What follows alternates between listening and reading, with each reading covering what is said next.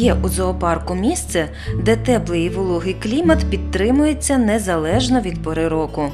Ще б пак, тут мешкають ніжні й примхливі істоти.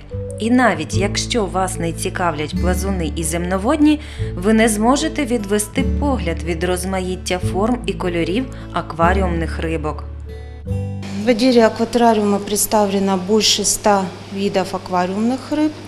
Э, Помимо экспонирования рыб, мы еще занимаемся размножением рыб. Достаточно много, больше 30 видов рыб у нас успешно размножаются. которые- Они же в дальнейшем и экспонируются. Можете посмотреть на эту рыбу. За короткий час перебування у відділі акватераріуму і спостереження за зграйками рибок ви неначе побуваєте у навколосвітніх мандрах. На даний момент експозиція розподілена за континентами. У кожному акваріумі рибки представляють свою частину світу. Відкривають експозицію плавучі гості з екзотичної Азії. Первый аквариум с Данию, второй аквариум с барбусами, третий с гурами, четвертый с золотыми рыбками и с барбусами шванинфида. Яскраве сонце і волога, яку постачає на берег цього континенту теплий океан, причина того, що основний колір тут зелений. Опадів навіть більше, ніж потрібно до 6 тисяч міліметрів у дощові роки. Не дивно, що у теплій водиці плещуться прекрасні водні створіння. Чимало з них стали улюбленцями акваріумістів всього світу. А тим часом мандруємо далі на австралійський континент. На островах і північному сході Австралії клімат вологий, випадає до 2000 мм опадів на рік. На материку течуть невеликі річки, а в острівних западинах з'являються озера і болота. Їх прісну та океанську солону воду облюбувало чимало видів риб.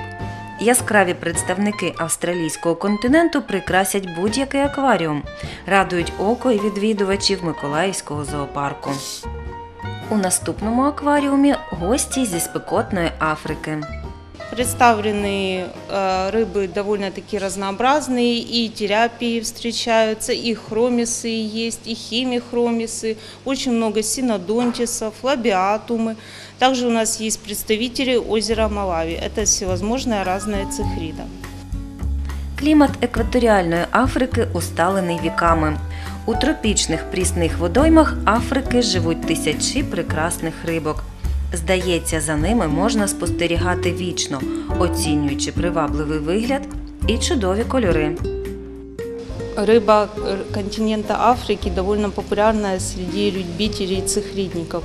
Очень часто у людей встречаются такие представители, как псевдотрофиусы всевозможные, хромисы, те же самые дельфины, которые циртокара мури сейчас называются, они э, псевдотрофеусы, елоу.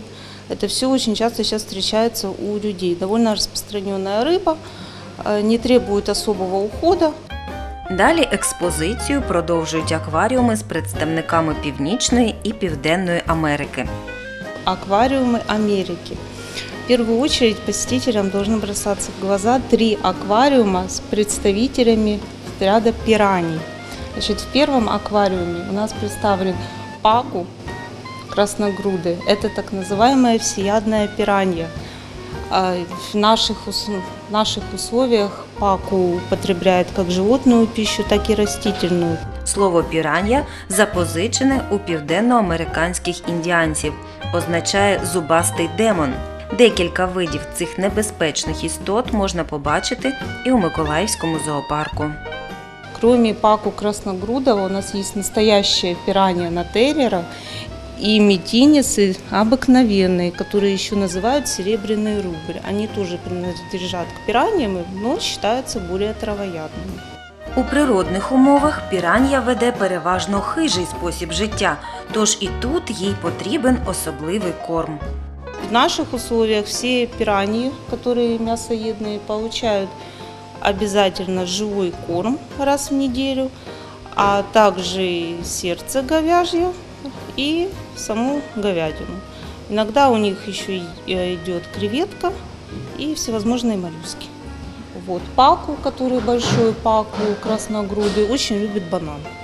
Регулярно его подкармливаем кусочками банана. Может также съесть немножко вареной картофели. Но ну, банан – это его любимое лакомство. Акваріум ціла екосистема, маленька частина і модель неосяжного світового океану але для її існування необхідні людська увага і ретельний догляд.